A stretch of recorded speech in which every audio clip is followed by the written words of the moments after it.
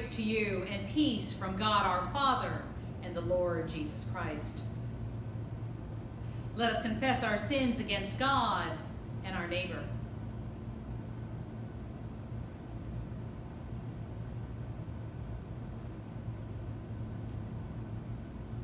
Most merciful God, we confess that we have sinned against you in thought and word and deed, by what we have done and by what we have left undone.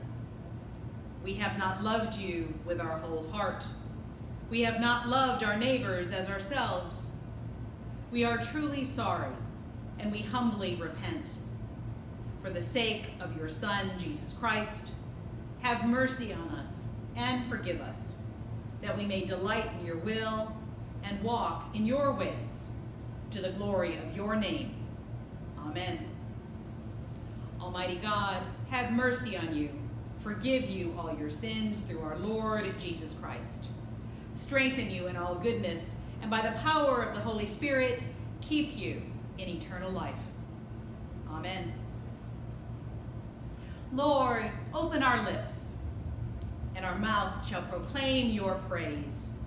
Glory to the Father, and to the Son, and to the Holy Spirit, as it was in the beginning, is now, and will be forever. Amen. Alleluia. Worship the Lord in the beauty of holiness. Come, let us adore him.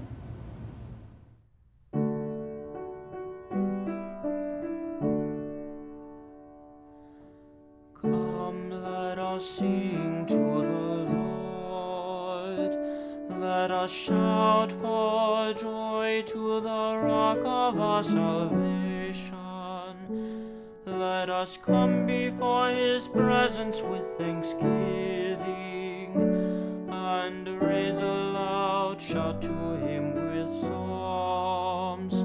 For the Lord is a great God and a great King above all gods.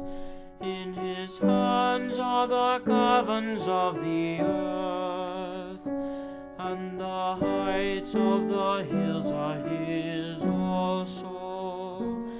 The sea is his, for he made it, and his hands have molded the dry land. Come, let us bow down and bend the knee, and kneel before the Lord our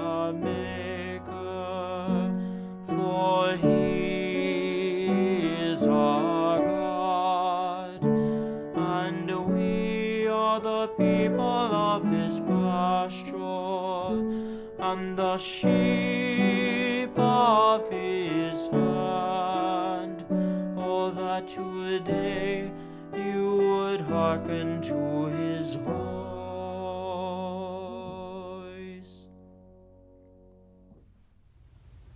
Please join me in reading a portion of Psalm 89, beginning on page 1, 713 of the Book of Common Prayer. We will read verse 89, 1 through 4, and 15 through 8 in unison. Your love, O Lord, forever will I sing. From age to age, my mouth will proclaim your faithfulness. For I am persuaded that your love is established forever. You have set your faithfulness firmly in the heavens. I have made a covenant with my chosen one. I have sworn an oath to David, my servant. I will establish your line forever, and preserve your throne for all generations. Happy are the people who know the festal shout. They walk, O Lord, in the light of your presence. They rejoice daily in your name, They are jubilant in your righteousness. For you are the glory of their strength, and by your favor our might is exalted. Truly the Lord is our ruler. The Holy One of Israel is our King. Glory to the Father, and to the Son, and to the Holy Spirit, as it was in the beginning, is now, and will be forever. forever. Amen. Amen. A reading from the book of the prophet Jeremiah. The prophet Jeremiah spoke to the prophet Hananiah in the presence of the priests and all the people who were standing in the house of the Lord. And the prophet Jeremiah said, Amen. May the Lord do so. May the Lord fulfill the words that you have prophesied and bring back to this place from Babylon the vessels of the house of the Lord and all the exiles. But listen now to this word that I speak in your hearing and in the hearing of all the people. The prophets who preceded you and me from ancient times prophesied war, famine, and pestilence against many countries and great kingdoms. As for the prophet who prophesies peace, when the word of that prophet comes true, then it will be known that the Lord has truly sent the prophet. The word of the Lord. Thanks be to God.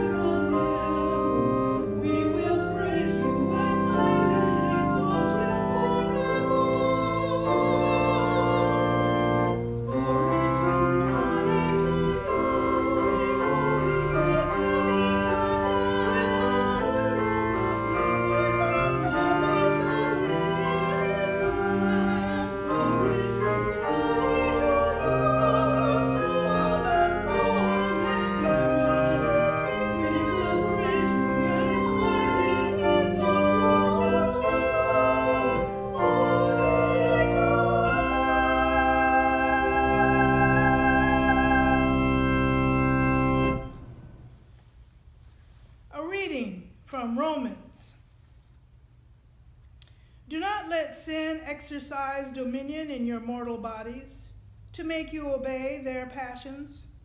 No longer present your members to sin as instruments of wickedness, but present yourselves to God as those who have been brought from death to life, and present your members to God as instruments of righteousness. For sin will have no dominion over you, since you are not under law, but under grace. What then? Should we sin because we are not under law but under grace? By no means. Do you not know that if you present yourselves to anyone as obedient slaves, you are slaves of the one whom you obey, either of sin, which leads to death, or of obedience, which leads to righteousness? But thanks be to God that you, having once been slaves of sin, have become obedient from the heart to the form of teaching to which you were entrusted, and that you, having been set free from sin, have become slaves of righteousness. I am speaking in human terms because of your natural limitations. For just as you once presented your members as slaves to impurity and to greater and greater iniquity, so now present your members as slaves to righteousness for sanctification. When you were slaves of sin, you were free in regard to righteousness. So, what advantage did you then get from the things of which you now are ashamed? The end of those things is death. But now that you have been freed from sin and enslaved to God, the advantage you get is sanctification. The end is eternal life. For the wages of sin is death, but the free gift of God is eternal life in Christ Jesus our Lord. The word of the Lord. Thanks, Thanks be to God. God.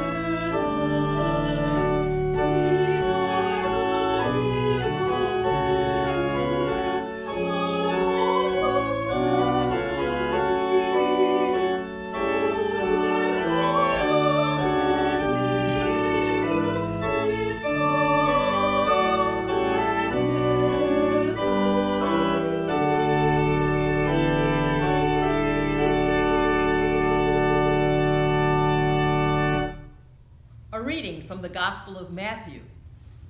Jesus said, Whoever welcomes you welcomes me, and whoever welcomes me welcomes the one who sent me. Whoever welcomes a prophet in the name of a prophet will receive a prophet's rewards. And whoever welcomes a righteous person in the name of a righteous person will receive the reward of the righteous. And whoever gives even a cup of cold water to one of these little ones in the name of a disciple, truly I tell you, none of these will lose their reward. The word of the Lord. Thanks be to God. May the words of my mouth and the meditation of my heart be acceptable to you, O Lord, my strength and my Redeemer. Amen. I love these words we've just heard from Matthew's Gospel. Whoever welcomes you welcomes me, and whoever welcomes me welcomes the one who sent me. Whoever gives even a cup of cold water to one of these little ones will not lose their reward. Jesus has empowered his disciples to carry his message of get good news into the world. Yet he warns that this path is difficult, really difficult. For ironically, devoting your life to welcoming, to hospitality, and to building connections can actually cause some relationships to fracture. Jesus' words about welcome are about more than a warm greeting, but rather challenge us to think about deep hospitality.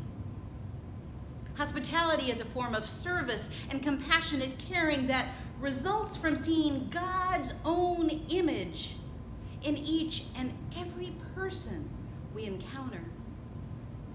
And I do believe that if we actually did see Jesus' own face when we see another, especially someone in need, I believe we'd all act very differently.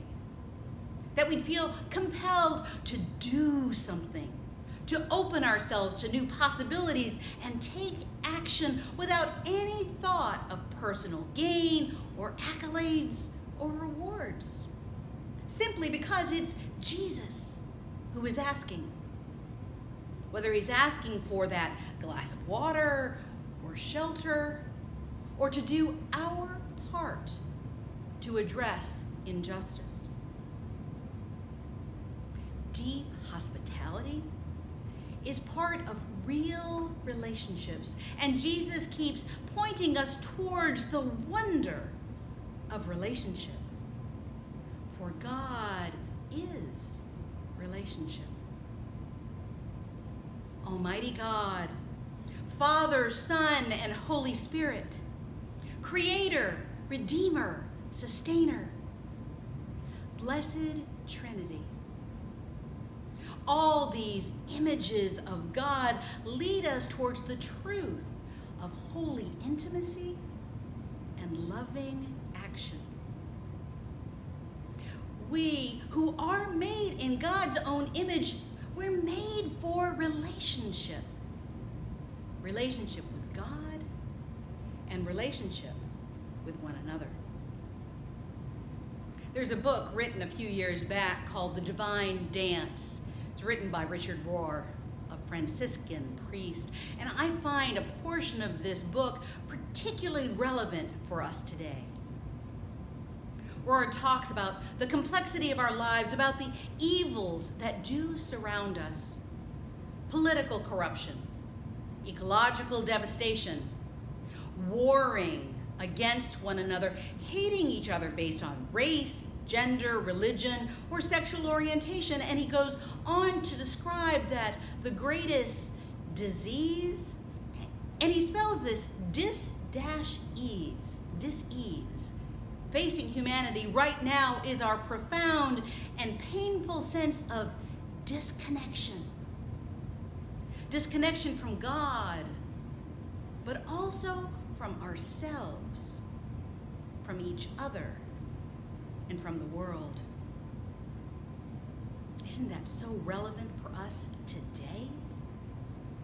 And it's a powerful reminder humanity's greatest disease is disconnection from God, from ourselves, and from each other, and from the world.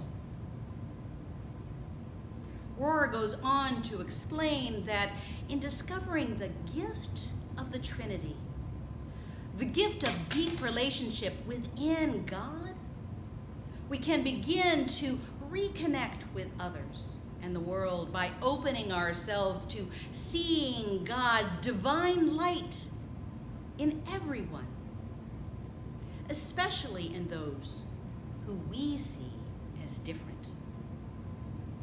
To see Christ in all our neighbors. It's what we need today. Reconnection and relationship, welcoming and deep hospitality. In this time of two pandemics, pandemics both of the coronavirus and the one of our spirits, we can and should face the truth of what it means to live into deep hospitality and compassionate caring for one another.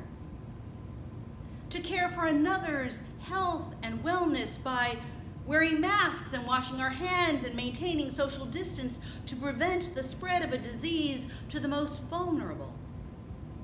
Even if we may personally believe that we really don't need to do those things to take care of our own health.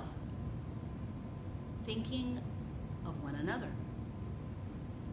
And to care about justice and dignity for all humankind by confronting the reality of our own nation's sin of disconnection, of racism, and systemic oppression that continue to, the, to affect the lives of so many of our brothers and sisters from generation to generation. I recently attended a diocesan presentation, and it was virtual, of course, but it was presented to our youth, and it was all about allyship.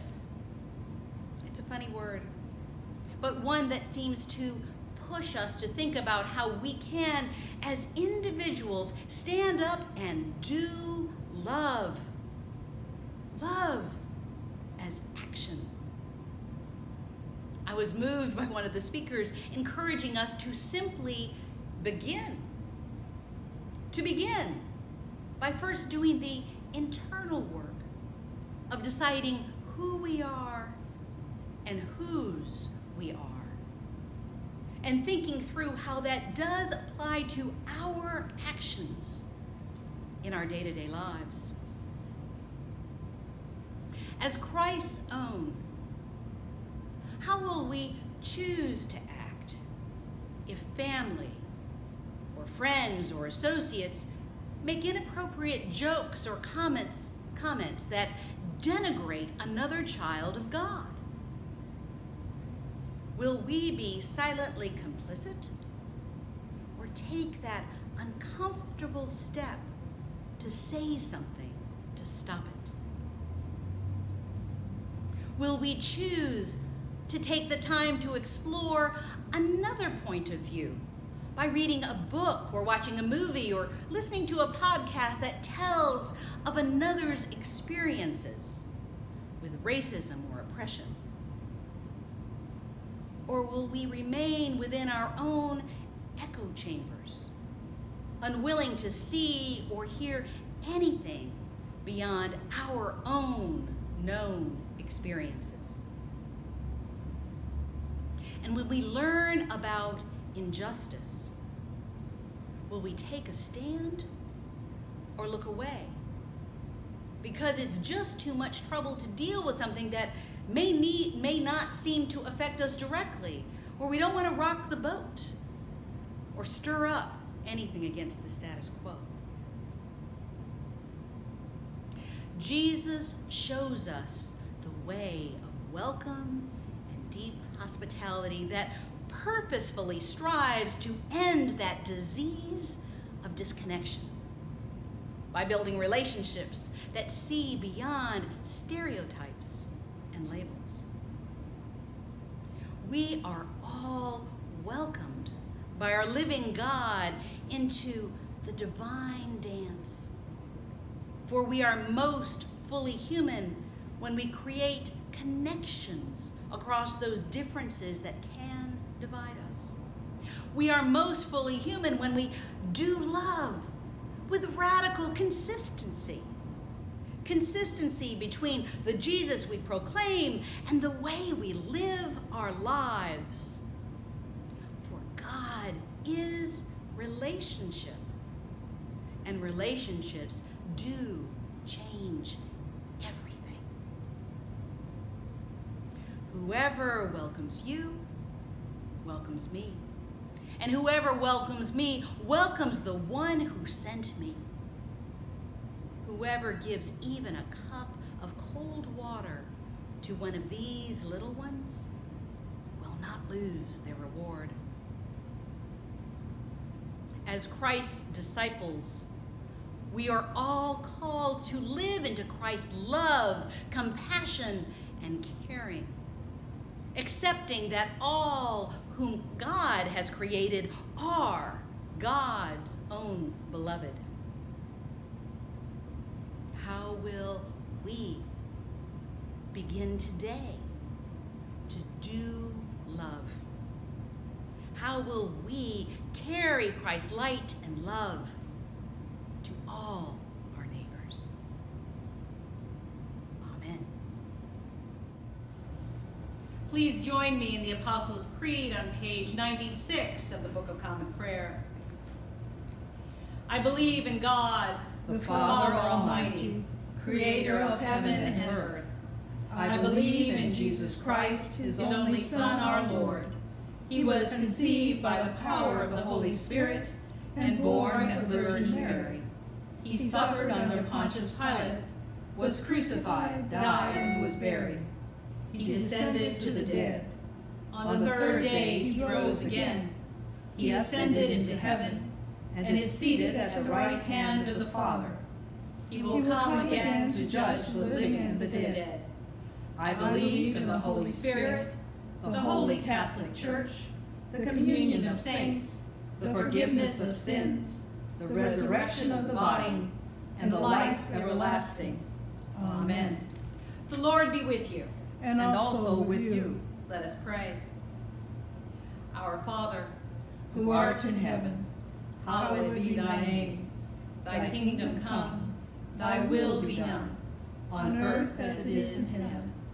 Give us this day our daily bread, and forgive us our trespasses, as we forgive those who trespass against us.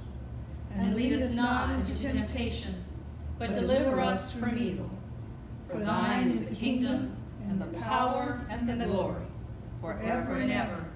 Amen. Save your people, Lord, and bless your inheritance. Govern and uphold them, now and always. Day by day we bless you. We praise your name forever and ever. Lord, keep us from all sin today. Have mercy on us, Lord. Have mercy. Lord, show us your love and mercy. For we put our trust in you, In you, Lord, is our hope. And we shall never hope in vain. Almighty God, you have built your church upon the foundation of the apostles and prophets, Jesus Christ himself being the chief cornerstone. Grant us so to be joined together in unity of spirit by their teaching, that we may be made a holy temple acceptable to you.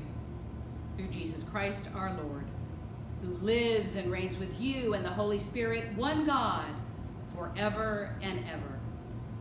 Amen.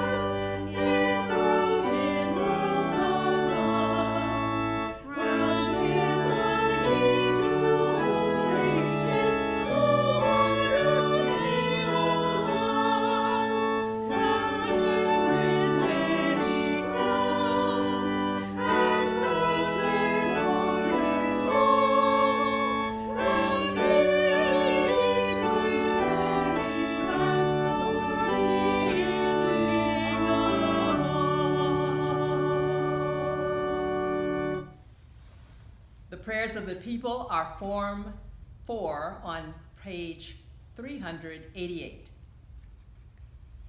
Let us pray for the church and for the world. Grant, Almighty God, that all who confess your name may be united in your truth, live in your love, and reveal your glory in the world. Lord, in your mercy, hear our prayer. Guide the people of this land and of all the nations in the ways of justice and peace, that we may honor one another and serve the common good. Lord, in your mercy, hear our prayer. Give us all a reverence for the earth as your own creation, that we may use its resources rightly in the service of others and to your honor and glory. Lord, in your mercy, hear our prayer. Bless all whose lives are closely linked with ours, and grant that we may serve Christ in them and love one another as he loves us. Lord, in your mercy, hear our prayer. Comfort and heal all those who suffer in body, mind, or spirit. Give them courage and hope in their troubles, and bring them the joy of your salvation. Lord, in your mercy, hear our prayer. We commend to your mercy all who have died that your will for them may be fulfilled. And we pray that we may share with all your saints in your eternal kingdom. Lord, in your mercy, hear our prayer. O God of love, we commend all for whom we pray, trusting in your tender mercy that we might find our confidence in your strength and be blessed with your presence that we may be still and know that you are God. All this we ask in the name of your precious Son, our Savior, Jesus Christ. Amen. Amen. Please join me in the words of the General Thanksgiving found on page 101 of the Book of Common Prayer. Almighty God, Father of all mercies, we, your unworthy servants, give you humble thanks for all your goodness and loving kindness to us and to all whom you have made. We bless you for our creation, preservation, and all the blessings of this life. But above all, for your immeasurable love in the redemption of the world by our Lord Jesus Christ, for the means of grace and for the hope of glory. And we pray Give us such an awareness of your mercies that with truly thankful hearts we may show forth your praise, not only with our lips, but in our lives, by giving up ourselves to your service and by walking before you in holiness and righteousness all our days.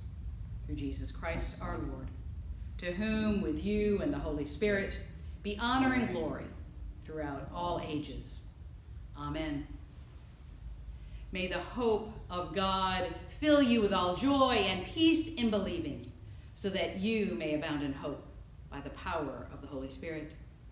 And the blessing of God Almighty, the Father, the Son, and the Holy Spirit be among you and spread through you to others, now and always. Amen. Go in peace to love and serve the Lord. Thanks be to God.